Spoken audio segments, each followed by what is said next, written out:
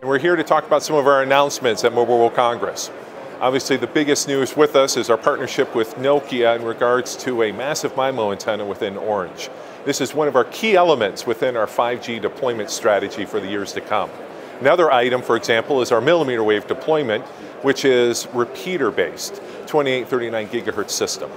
In addition to that, the the deployment models of MIMO across the world. That's whether 4 by MIMO or higher levels of that.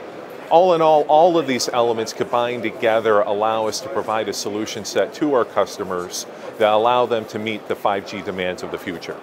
From there, not only does this include from a macro cell viewpoint, but also to a small cell, where more of a densification model needs to occur, which we all understand infrastructure is going to be the key leading element within the future of our 5G world. Kathrein has a passion to connect.